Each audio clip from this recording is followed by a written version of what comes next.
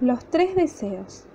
Cuando Federico llegó a su casa una noche, malhumorado y refunfuñando como de costumbre, encontró a su mujer sentada en la silla de la cocina con una expresión muy rara.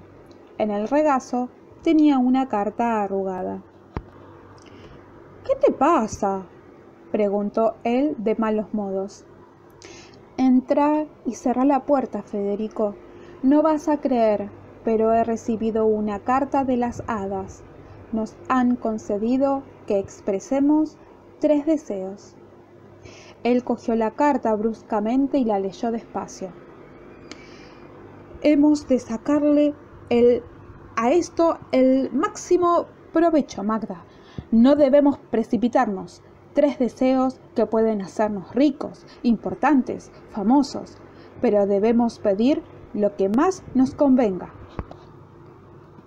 Magda se levantó de un salto y dijo, ya tengo hecha una lista.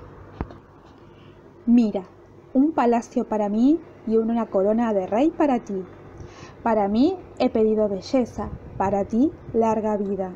Pediremos una reina que nos haga de criada y oro y joyas. He estado tan ocupada haciendo la lista que no me ha dado tiempo para preparar la cena. Federico exclamó irritado. ¿Cómo? ¿Que no está la cena? ¿Cómo voy a tomar decisiones importantes con el estómago vacío? No creo que sea pedir mucho. ¡Qué gándula eres, Magda! Ojalá hubiera algo preparado, aunque fueran unas pocas salchichas. Se oyó un curioso zumbido como el batir de alas de hadas y plop sobre el plato de la mesa de la cocina apareció una sarta de salchichas. Federico las observó, humeando en el plato, y relamió sus labios. Magda le dio con una hogaza de pan en la cabeza gritando Has perdido un deseo. ¡Qué estúpido eres! Si hay que hacer algo, lo haré yo. ¡Qué torpe eres, Federico! Me pones mala. Ojalá que esas salchichas te colgaran de la punta de la nariz. Se oyó un ruidito mágico como de hadas cantando y ¡clac! Las salchichas saltaron del plato y fueron a engancharse a la punta de la nariz de Federico.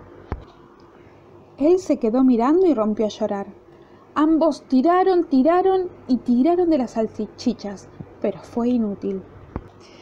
¡Ay, que están calientes! exclamó. No te muevas, las cortaré de un...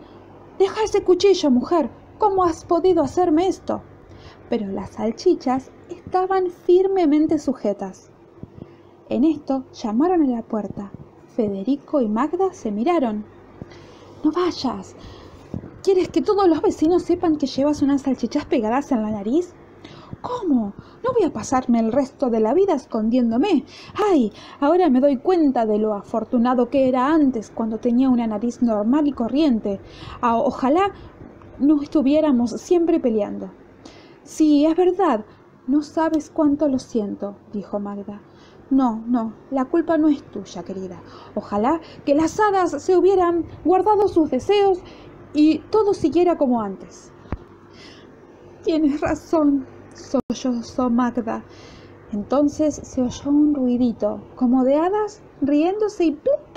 Las salchichas se desprendieron de la nariz de Federico.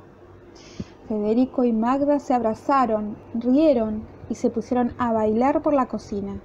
Y las hadas que estaban en la puerta salieron apresuradamente a echar otra carta al correo.